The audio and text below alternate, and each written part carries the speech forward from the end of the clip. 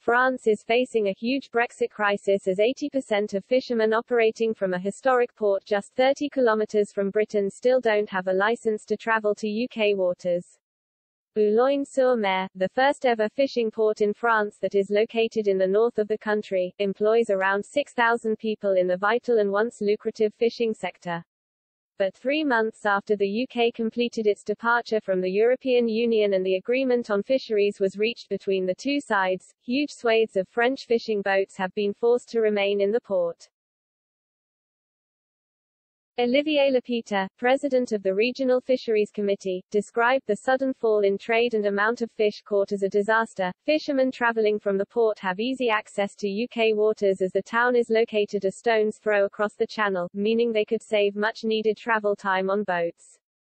But he warned four in five fishermen still don't have a license to travel to those waters, and blamed demands from the UK placed on its fishermen as the root cause of the problem.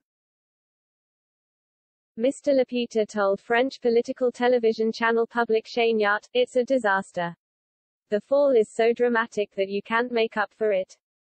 Boulogne-sur-Mer is less than 30 kilometers from the United Kingdom. The fishermen therefore quickly arrive in British waters, but not so much after Brexit because 80% of fishermen still do not have their license.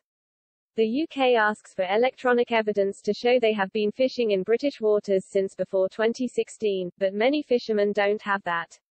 In a further attack on the fisheries deal negotiated between the UK and EU, Mr. Leprêtre claimed Brexit is a real fiasco for the fishermen of Hauts-de-France, the northernmost region of France.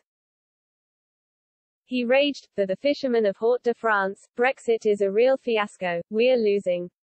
Such a bad negotiation. Mayor of Boulogne-sur-Mer Frédéric Cuvillier launched a furious attack against Michel Barnier, who was the EU's chief Brexit negotiator when the deal on fisheries was struck with the UK. He demanded the Eurocrat explain why fishermen are suffering to the point they don't know how they are going to live anymore. Mr. Cuvillier said, Mr. Barnier should come out of his silence to explain to us why the fishermen are not in a position to know how they are going to live anymore.